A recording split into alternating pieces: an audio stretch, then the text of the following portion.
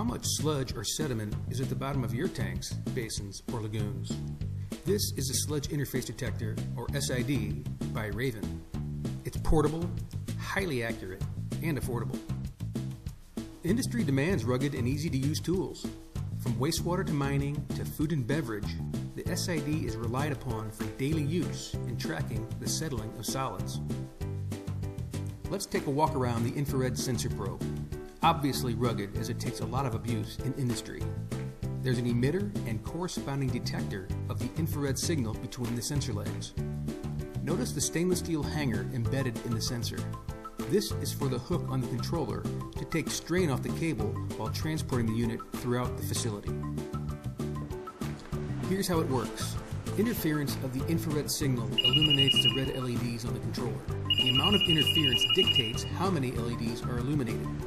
Heavy interference causes full illumination and full pitch of the horn. Partial interference of the infrared signal produces a weaker horn pitch and only partial illumination of the LEDs. The sensor communicates with the controller. This is the LED field, showing low to high density. A waterproof piezo type horn responds to changes in solids density as the probe travels through the liquid.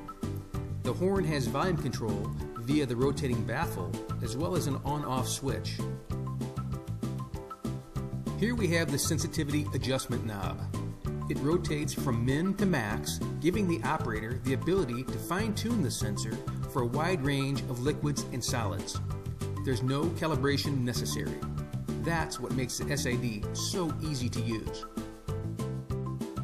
The SID is engineered and manufactured in the United States of America. It's rated IP67 for moisture. There's a foam gasket around the perimeter of the aluminum faceplate and to maintain the integrity of that gasket, we use stainless steel shoulder screws to prevent mashing of the gasket from over tightening. Here's another simple feature of the SID. There's a rubber belt to keep the cable corralled during transport. And finally, the operator can hang the probe off the handle to prevent undue strain while transporting the SID.